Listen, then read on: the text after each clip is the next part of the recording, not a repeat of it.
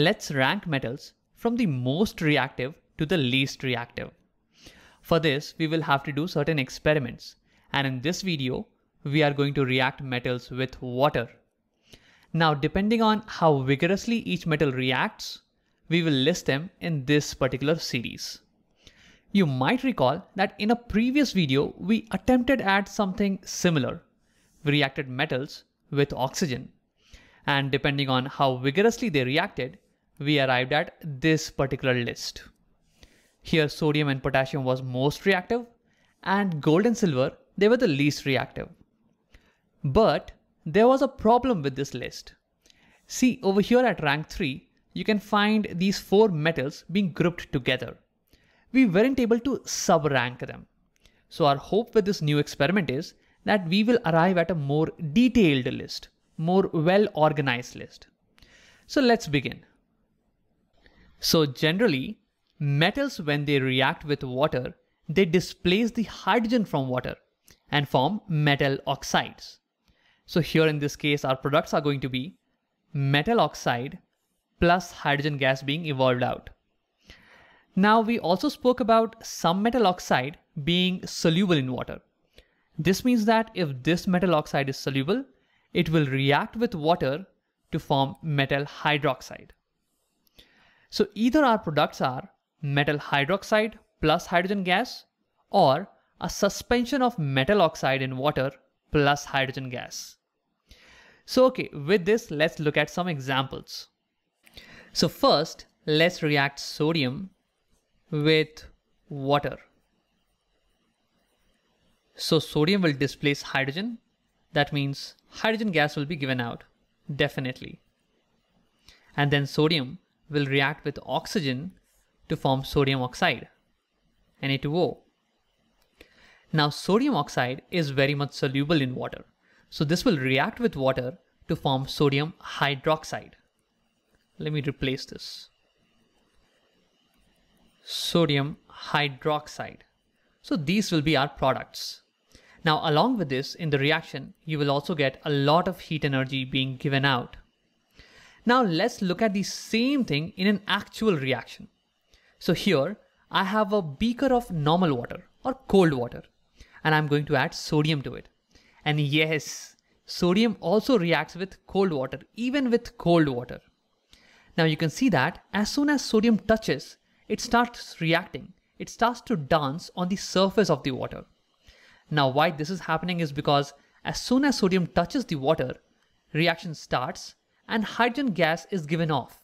Now this hydrogen gas pushes the sodium into random direction and that's why sodium appears to be dancing on the surface of water. Now along with this, we are also getting a lot of heat being evolved and this heat is so much that it can even burn the hydrogen gas being released. So be very careful around this particular experiment. This can be very explosive, okay? Now, you might notice one more thing. How quickly did sodium metal get finished off?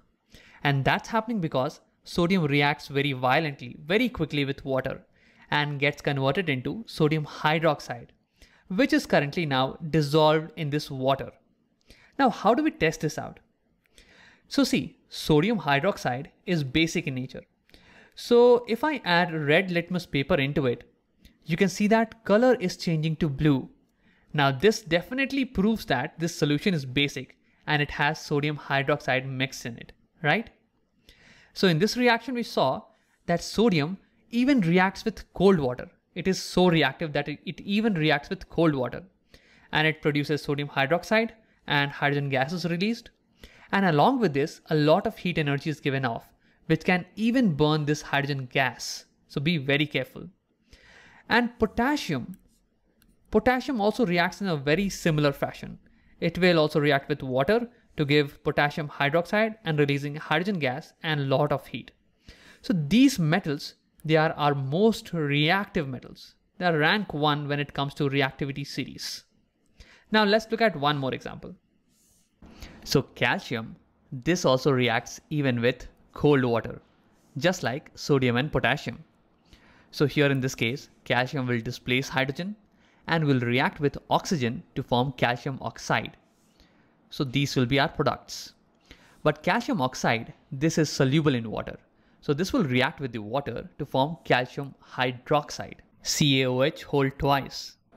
And along with this, we will also get a lot of heat being released. And you can sense this because we started the reaction in a cold container of water, but you can sense it that the water container will start getting warmer. But let's compare the heat being released here with the heat being released in the case of sodium. So in this case, the heat was so much that it would even burn the hydrogen gas being escaping out, right? But here in the case of calcium, the heat is not sufficient to burn the hydrogen gas. It's lesser in comparison to sodium. And that's why we rank calcium as second in the reactivity series. So in the case of sodium and potassium, the heat would even burn the hydrogen, whereas in the case of calcium, the heat is not sufficient to burn the hydrogen gas. In fact, this hydrogen gas will start bubbling out of the water solution and it will stick to calcium metal and make it float in water. You can check this out in the experiment in your lab. Now next we have magnesium metal and this also reacts with water. But this cannot react with cold water. Cold water does not have sufficient energy for magnesium to react with it. So that's why we will need to heat the water. So magnesium reacts only with hot water. So this itself is an indication that magnesium is not as reactive as calcium. So we will rank magnesium as third in the list. So here also in this case, magnesium will displace hydrogen and react with oxygen to form magnesium oxide and hydrogen gas will be given off. And magnesium oxide is soluble in water, so we will get magnesium hydroxide finally. Next we have aluminium reacting with water. In fact, aluminium, iron and zinc, they all react in a similar fashion with water, which is they do not react with cold or hot water, but they do react with steam, which is basically H2O in gaseous form. So this itself would tell us that all of these three are not as reactive as sodium, calcium or magnesium. And that's why I would rank them as fourth in our reactivity series. Okay, so in this reaction, aluminium will displace hydrogen and form aluminium oxide. And the different thing over here is that aluminium oxide is not soluble in water. So this is not going to react with water to give us aluminium hydroxide. No. And how I like to remember this is that aluminium is used as aluminium foil to wrap our hot food in our lunch boxes. Now hot food will give out steam and that steam might react with aluminium to form some products. Now if this product would have been aluminium hydroxide, which is a base, that might have spoiled our food. So it's good that no base is being formed over here. That's how I like to remember how steam reacts with aluminium to give me aluminium oxide only.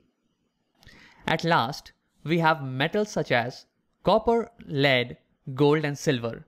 And they all do not react at all with water. There will be no reaction, neither with cold water, hot water or steam.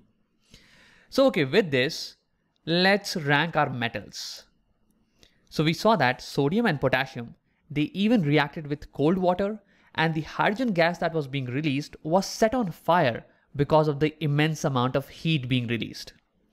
At second, we had calcium, which also reacted with cold water, but there was no fire and the hydrogen gas was bubbling out. Thirdly, we have magnesium, which reacts only with hot water, not with cold water. At fourth place, we had aluminium, iron, and zinc, which did not react with cold or hot water. They reacted only with steam. And at last, we had copper, lead, gold and silver, which showed no reaction at all. Now, with this new information, let's go back and update our ranking of the metals. So this was the old ranking that we had when we reacted metals with oxygen. Now let's compare and see what's new. So here still sodium and potassium is at number one, but we have calcium coming in at number 2 and magnesium at number 3. That means we will need to include calcium in between here. Let's update that.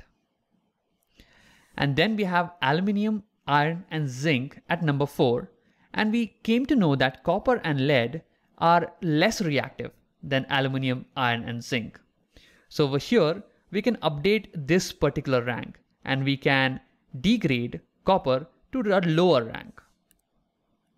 So something like this. And we already knew that gold and silver, they are the least reactive. So this is our updated ranking of our metals after these two reactions. But see, this list is still not very detailed. You can still see that at this rank we have three metals occupying the same position. Whereas over here, we still do not know which one is more reactive between copper and lead. So in future videos, we will do more reactions and we will try to detail this particular list. But for now, let's summarize the video. In this video, we saw that when metals react with water, they form metal oxide and hydrogen gas is released. Now, if the metal oxide is soluble in water, we will get metal hydroxide. And we saw that how different different metals, they react with water. And depending on these, we updated our ranking of metals.